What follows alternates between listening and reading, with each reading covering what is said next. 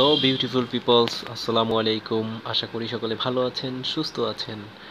Riyad Mahmud six three six চ্যানেলের পক্ষ থেকে আপনাদেরকে জানাচ্ছি আন্তরিক শুভেচ্ছা ও অভিনন্দন। বরাবরের মতো আমি আবারও চলে আসলাম অ্যান্ড্রয়েড টিপস নিয়ে। আজকের ভিডিওতে আমি আপনাদেরকে দেখাবো যে কীভাবে আপনি আপনার ফোনের, আপনার অ্যান্ড্রয়েড ফোনের ব্যাটারি সেভ করবেন, ভালো রাখবেন। বন্ধুরা, এখন ম্যাক্সিমাম লোকই অ্যান্ড্রয়েড ফোন ইউজ করে এবং সবারই একটি প্রবলেম দেখা দেয়, সেটা হচ্ছে অনেকের ব্যাটারি ডাউন হয়ে যায় চার্জ থাকে না, এমনকি ব্যাটারি ফুলে যায়।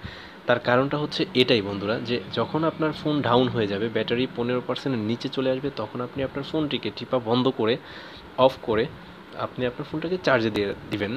সেই ক্ষেত্রে হবে কি, আপনার ফোনের যে ব্যাটারি যে ফিলামেন্ট থাকে সেটা নষ্ট হবে না। আর যদি আপনি পনেরো বা বিশ পার্সেন্টের নিচে চলে আপনার ফোনের ব্যাটারি চার্জ তখন যদি আপনি আপনার ফোন টিপতে থাকেন চার্জে না দেন, তাহলে ব্যাটারির ভিতরে যে ফিলামেন্টগুলো থাকে সেগুলো নষ্ট হয়ে যায়। সেই ক্ষেত্রে আপনার ব্যাটারি ডাউন হয়ে যায় ব্যাটারিতে চার্জ থাকে না।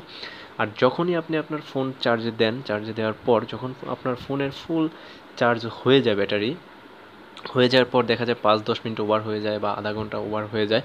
পাঁচ দশ মিনিট হলে সমস্যা নেই, কিন্তু যদি আধা ঘণ্টা, বিশ মিনিট, পঁচিশ মিনিট ওভার হয়ে যায় সেই ক্ষেত্রে আপনি যদি আপনার ফোনের, ফোনটিকে চার্জার থেকে না খুলেন, তাহলে আপনার ফোনের ব্যাটারিতে বিশাল ধরনের ক্ষতি হতে পারে। সেই ক্ষতি হওয়ার কারণে আপনার ব্যাটারিটি ফুলে যায়।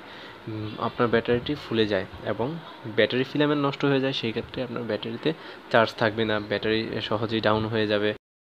খুব একটা প্রভাব অনেকটাই প্রভাব পড়ে। সেই ক্ষেত্রে আপনার ব্যাটারি নষ্ট হয়ে যাওয়ার সংকট থাকে। তো বন্ধুরা, যদি আমার এই ভিডিওটি ভালো লাগে, অবশ্যই লাইক অ্যান্ড সাবস্ক্রাইব করবেন। আর পাশে যে বেল আইকনটা দেখতে পাচ্ছেন, সেটা ক্লিক করে আমার চ্যানেল সাথেই থাকুন। তাহলে আমার নতুন নতুন যত ভিডিওগুলি সবার আগেই আপনাদের কাছে পৌঁছে যাবে। তো বন্ধুরা, আজ এ পর্যন্তই। আবারও আসব নেক্সট কোনো ভিডিও নিয়ে নেক্সট কোনো টিউটোরিয়াল নিয়ে। ততক্ষণ আপনারা ভালো থাকবেন।